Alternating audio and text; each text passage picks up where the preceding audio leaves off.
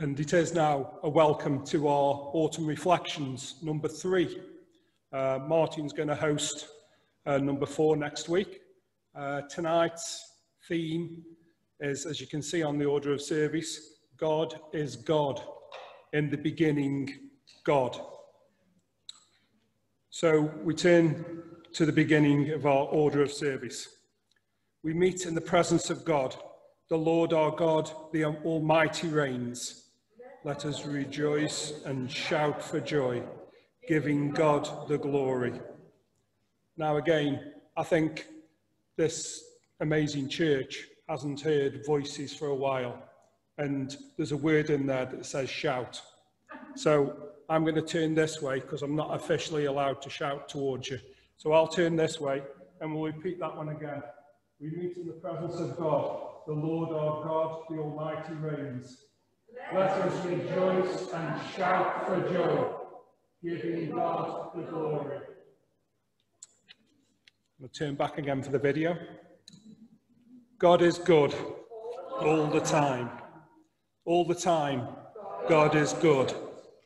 We say together our opening prayer. Lord, speak to us that we may hear your word. Move among us that we may behold your glory receive our prayers that we may learn to trust you. Amen. We now listen to our first hymn, How uh, Great Are You, Lord.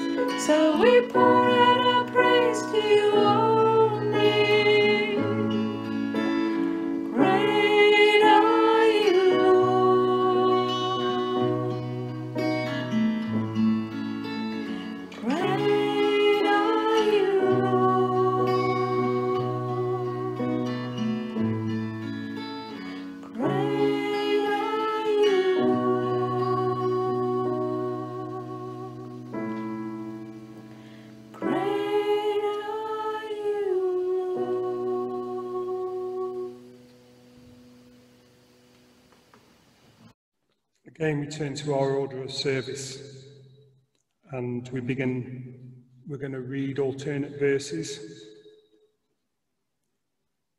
The Lord is King, let the peoples tremble. He sits enthroned upon the cherubim, let the earth quake. The Lord is great in Zion, he is exalted over all the peoples. Let them praise your great and awesome name. Holy is he. Mighty King, lover of justice, you have established equity. You have executed justice and righteousness in Jacob. Extol the Lord our God, worship at his footstool. Holy is he. Moses and Aaron were among his priests, Samuel also among those who called on his name. They cried to the Lord, and he answered them. He spoke to them in, a pill, in the pillar of cloud. They kept his decrees and the statutes that he gave them. O Lord our God, you answered them. You are a forgiving God to them, but an avenger of their wrongdoings. Extol the Lord our God and worship at his holy mountain, for the Lord our God is holy. We say the collect for today together. Holy God, faithful and unchanging, enlarge our minds with the understanding of your truth and draw us more deeply into the mystery of your love, that we may truly worship you, Father, Son, and Holy Spirit, one God, now and forever. Amen. Again, we remain seated as we listen to our next hymn, Holy, Holy, Holy, performed by Tony Merley and our virtual choir.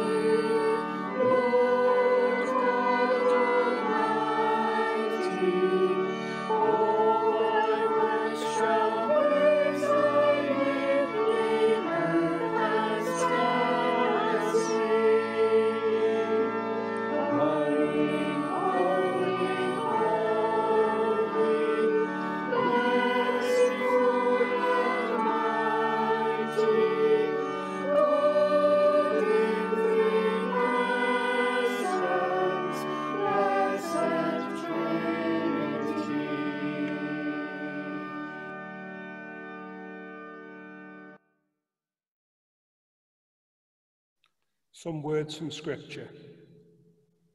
Genesis 1. In the beginning, when God created the heavens and the earth, the earth was a formless void, and darkness covered the face of the deep, while wind from God swept over the face of the waters. Then God said, Let there be light, and there was light. From John 1 In the beginning was the Word, and the Word was with God, and the Word was God. Our theme for this evening is God is God, and with the strapline of In the beginning, God. We now turn to some material that is based, as it said in the book, from the, uh, from the, in the order of service. There is a God in heaven. God is with you. God conceals himself. God reveals mysteries. The Lord is king. The people tremble. He has pity on the weak and poor. The high and lofty one who inhabits eternity inhabits the praises of Israel. The world and all that is in it belong to the Lord. The cattle on a thousand hills. Rich as he was, he made himself poor for your sake. God is ready to judge the living and the dead. Our God is a consuming fire. He will save his people from their sins. I am your God. Let nothing terrify you. God remembers those who suffer. God is wise and powerful. Praise him forever and ever.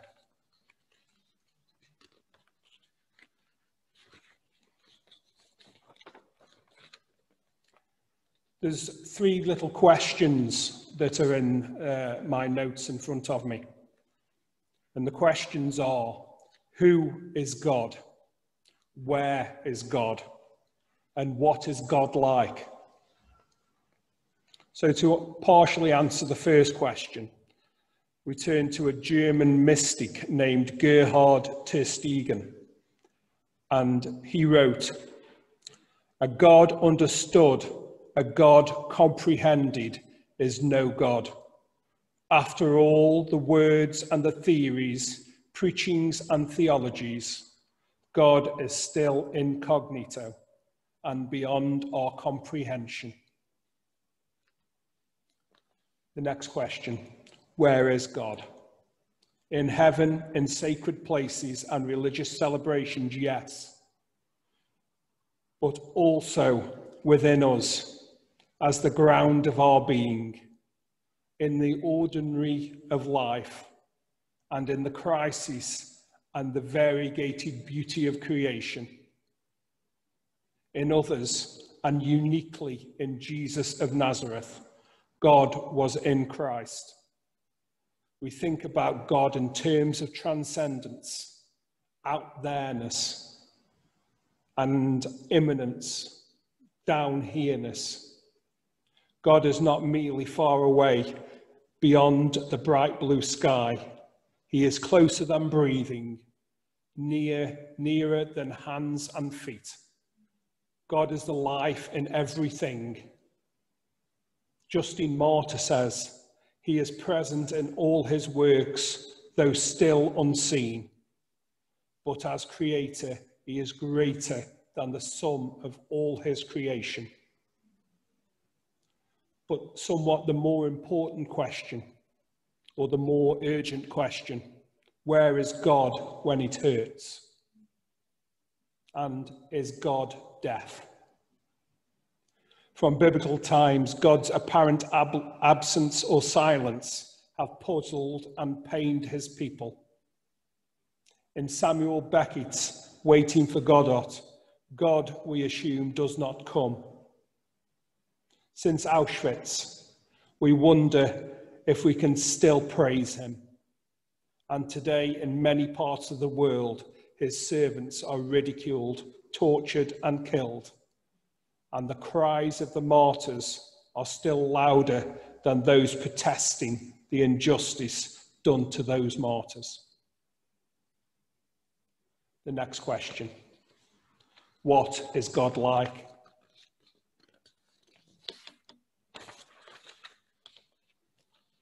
He cannot stop loving you. He thinks you are beautiful. He delights in you. So, in the joy and the comfort of this total acceptance, make room for a surprise and hope and wonder at the unexpected, unexpected and above all, certainty that you are loved forever. And never forget, as another old mystic said, if you have God and everything else, you have no more than having God only. And if you have everything else and not God, you have nothing. You are looking for something along with God, and you are behaving exactly as if you were making of God like a candle, so that you could not look for something. But when you find something with the candle, you then throw the candle away. The God of the gospel is God, who again and again discloses, discloses himself anew and must be discovered anew. The God of the gospel is no lonely God, self sufficient and self contained. He is our God. He exists neither next to us nor merely above us, but rather with us, by us, and most importantly of all, for us. The content of God's word is free, undeserved, most definitely undeserved. Yet to the whole human race, in spite of human unreasonableness and corruption, he is still with us.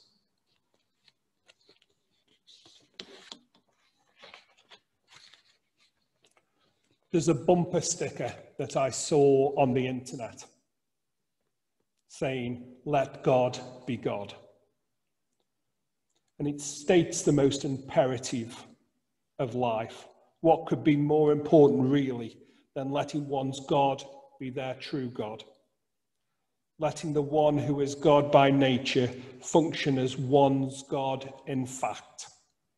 Every day of our lives, God who made us does battle with the gods that we have made. Only a creator can fully, fully satisfy and genuinely fulfill our every need. The self love is not the self God loves. The neighbours we do not prize are his treasures. The truth we ignore is the truth he maintains. The justice we seek, because it is not our own, is not the justice that his love desires. The righteousness he demands and gives is not our righteousness, but greater and different. There is only one def- good definition of God the freedom that allows other freedoms to exist. I repeat, there is only one good definition of God the freedom that allows other freedoms to exist.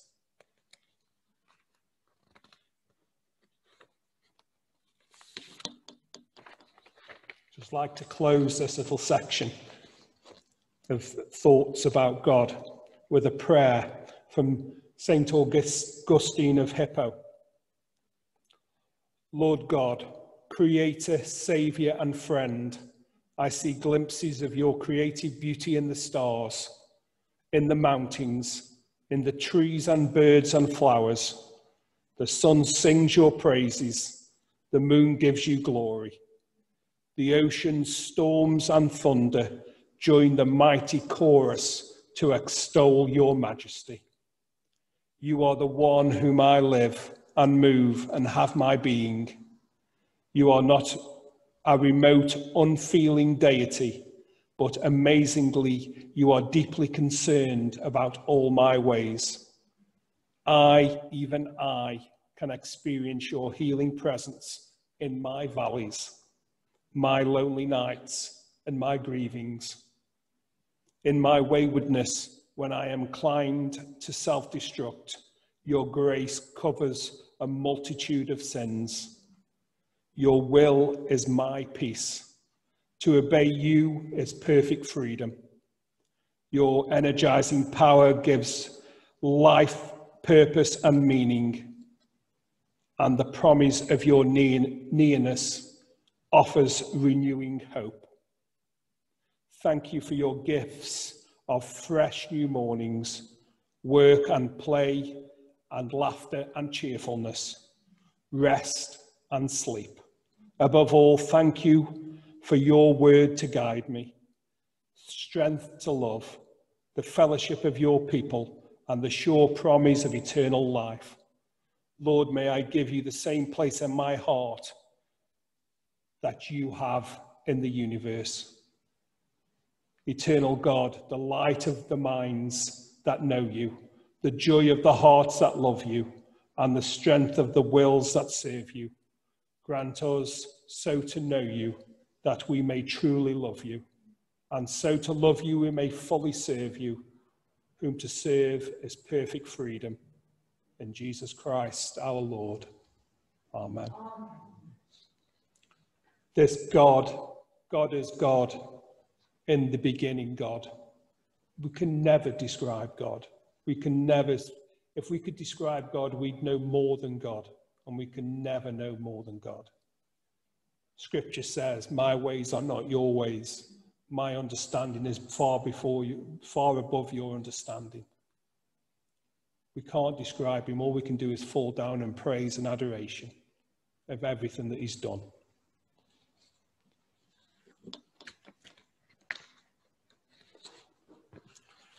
We now move to a time of reflection. Uh, like previous uh, times, some music will be played. There's a little service sheet to fill in there, some questions just to, if, if they're any help to guide you, then please use them.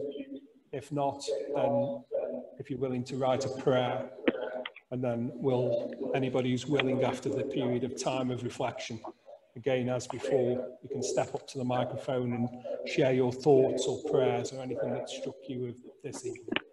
So we just move to a time of reflection.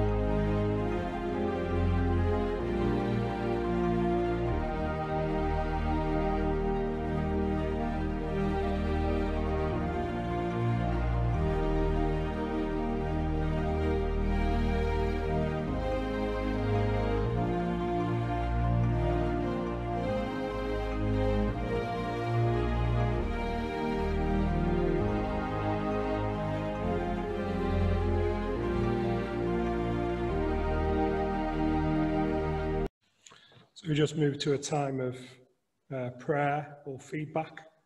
Any thoughts what anybody's had? Anything that's been generated from the questions or just anything anybody wants to say? Please feel free to come up and just share with us.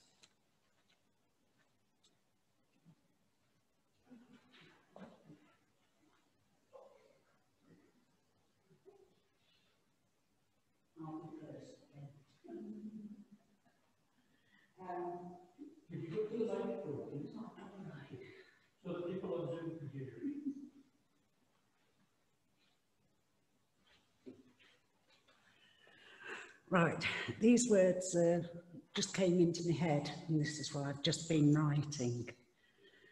And I've written, Divine Spirit, Father God, you gave us the commandments, trusting that we would follow these. When Adam and Eve each took a bite of the apple, you gave man free will. You hear, God, why are you doing this? Why are you allowing these catastrophes? Man needs to look and realise that man alone is the cause through greed for power and wealth. We, as your faithful children, need to raise our voices, see if those who are misguided realise your love for us is true and just. May we spread the words of the commandments. Thank you.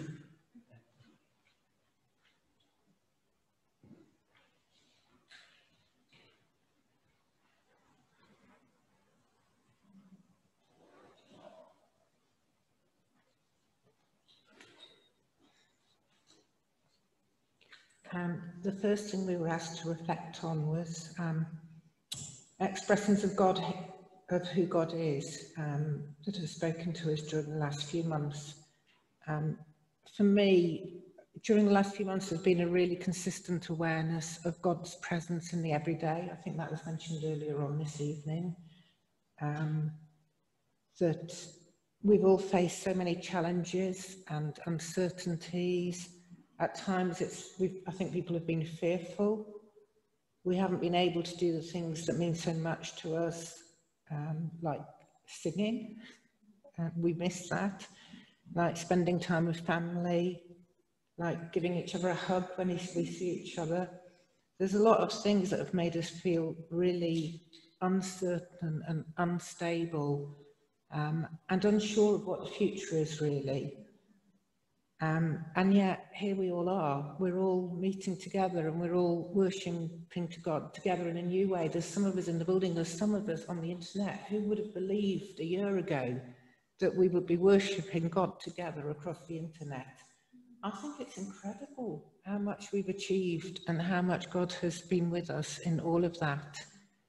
Um, it's just remarkable.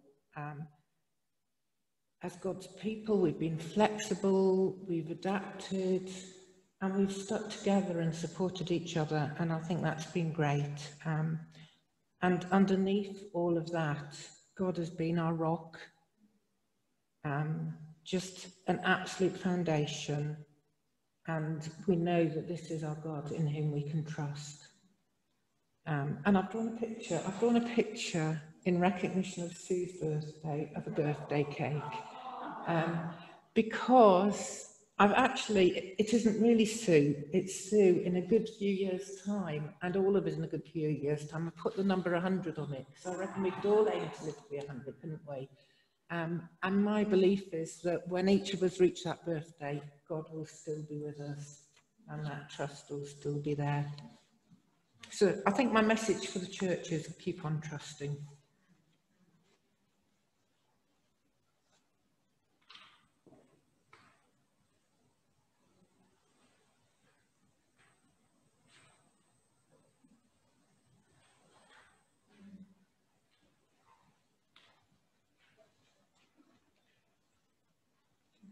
Um, I'm just going to say a little bit about that first question about who God is. And I'll see what else I move on to, but who knows. Everlasting was, everlasting was the word that came to me from the beginning of time to the second coming and beyond. And I put a sort of, you know, the next line was what COVID seems such a big thing at the moment. But you know, in the scheme of things, how significant will it be in the future when we look back? It'll be significant for us, but God's going to be with us always, and He's going to take us into heaven with Him in a sort of everlasting picture. Um, and it kind of, Rachel, by what Rachel said, persuaded me to come up because the second question there, I've, one of the things I put would God would say to us, trust me for the big picture. You'll be with me in heaven. And then as we listen to God, please note any thoughts or feelings which you have relating to our two churches. Well, uh, what I've written down here is what God might be saying to us in light of that big picture is what is really important to me, God is asking us about your parishes and about the people who live within them. And that was a question um, and no answer. But You can guess. Oh, I don't know. You can, you can think. You can guess what I'm thinking, but that's not right. That's not the right answer. The right answer is what does that mean for you and for us?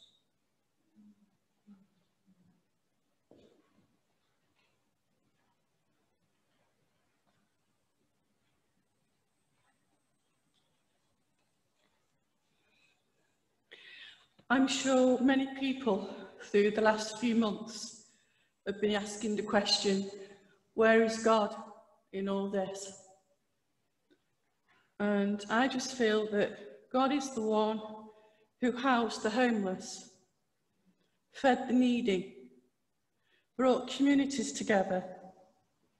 God made us aware of how much we need the hospitals and the staff, the police, and God brought us together in love.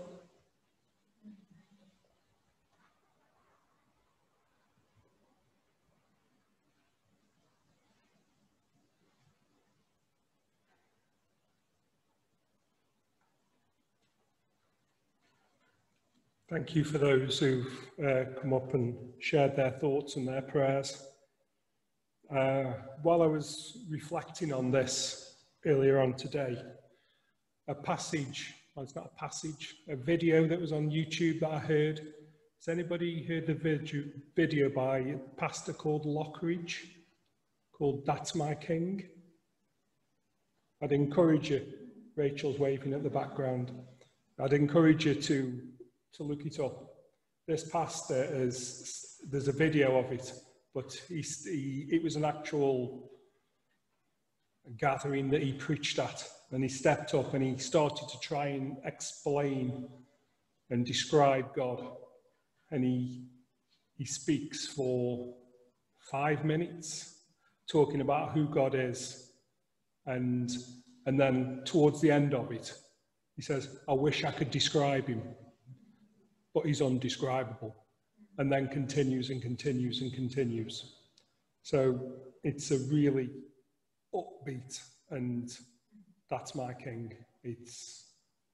You, can you just give us the name of the person? It's.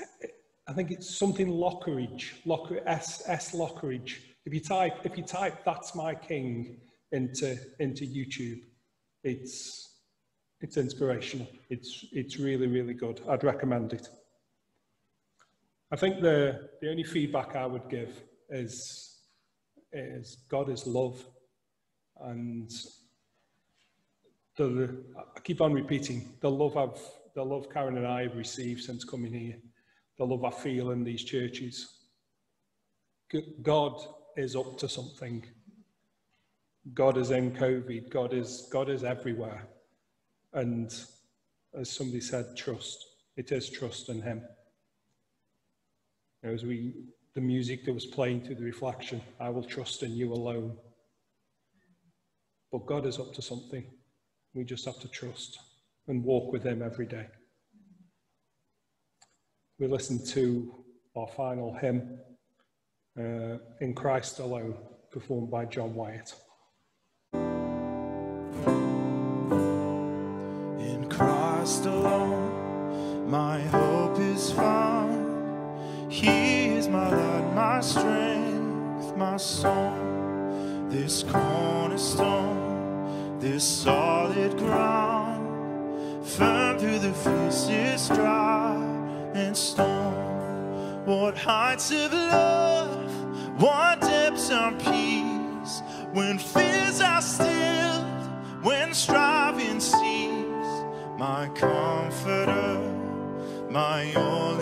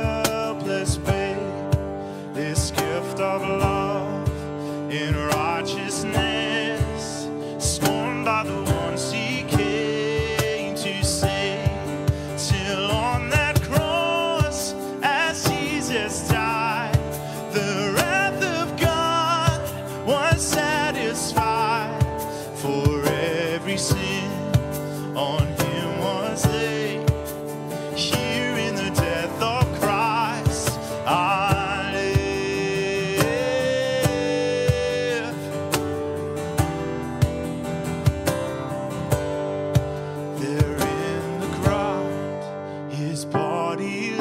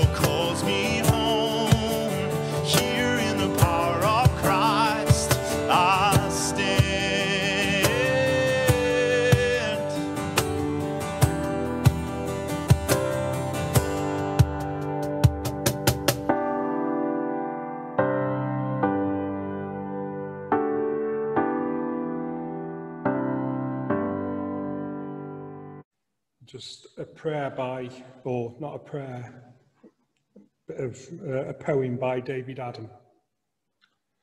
You are the peace of all things calm. You are the place to hide from harm. You are the light that shines in dark. You are the heart's eternal spark. You are the door that's open wide. You are the guest that waits inside. You are the stranger at the door. You are the calling of the poor. You are my Lord and with me still.